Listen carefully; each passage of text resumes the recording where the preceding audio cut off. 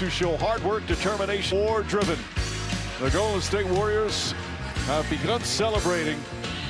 You know, Draymond Green all season long kept quoting John Wooden when he talked about how he desperately wanted back-to-back -back titles.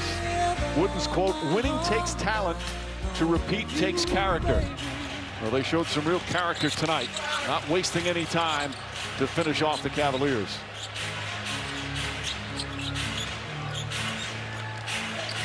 Now both teams empty their benches. Zaza Pachulia, a former starter.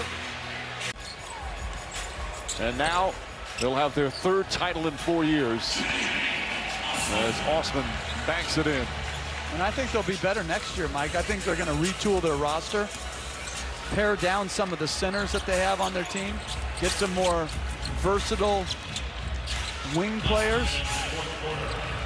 Course, Kevin Durant can opt out of his contract, but last couple of days he said a couple of times that he is definitely re-signing. It's just a matter of working out the details. A lot of credit across the board. Ownership, management, obviously Steve Kerr and his coaching staff, and tremendous job by the players. What a great run by this Warriors organization. And again, a, a complete different season.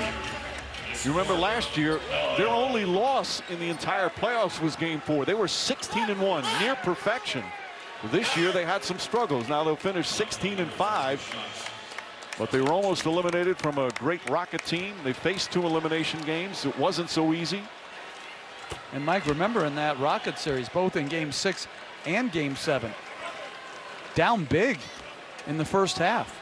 Mean, they, they responded well. And, you know, Houston is absolutely going to rue a number of things. But the Chris Paul injury to me, whoever won that Western Conference was going to win the finals. I mean, they were one half away from winning a championship. Golden State found a way to, to get it done and here forming a dynasty.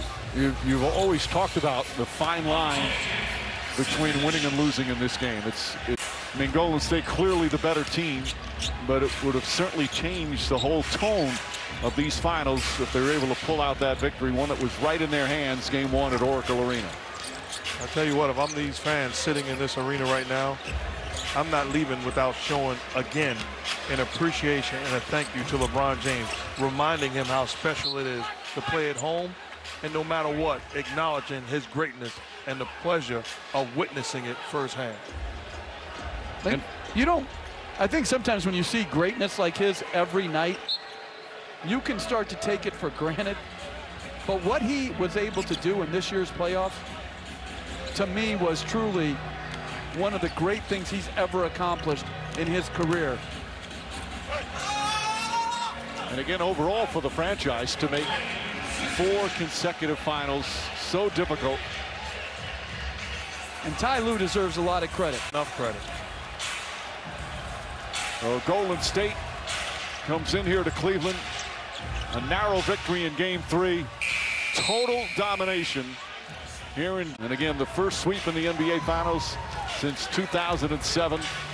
The shot clock is turned off. Calderon will throw it up.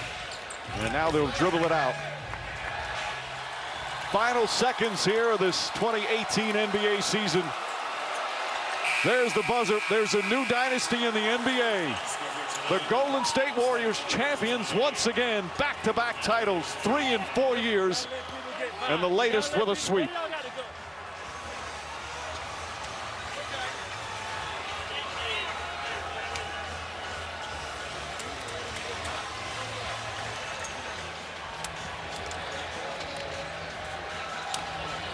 And we see LeBron James exiting the court.